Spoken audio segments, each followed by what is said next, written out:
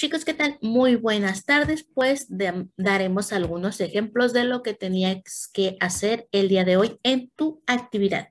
Bien, entonces este es el cuadro que tú vas a tener que llenar con todos los hechos históricos que vienen en tu línea del tiempo.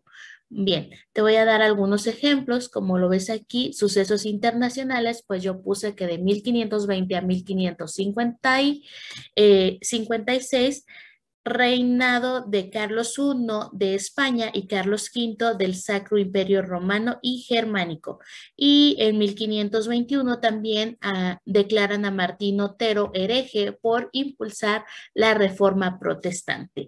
En el ámbito cultural encontré en 1531 la gran epidemia de sarampión que existió en la época colonial y después en un ámbito social en 1580 se dio el reclutamiento a gran escala de esclavos africanos a la Ciudad de México.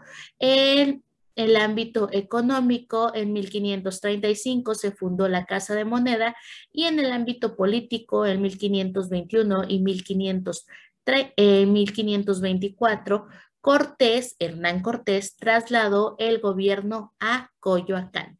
Este es alguno de los ejemplos que se pudieron, este, bueno, que puedes observar y que tú puedes continuar para completar tu cuadro con todos los hechos históricos que existen en tu línea del tiempo. Recuerda que es la página 180 y 181 donde debes observar para que puedas contestar este cuadrito que te presento el día de hoy. Así que espero que estés muy bien y que tengas un excelente día.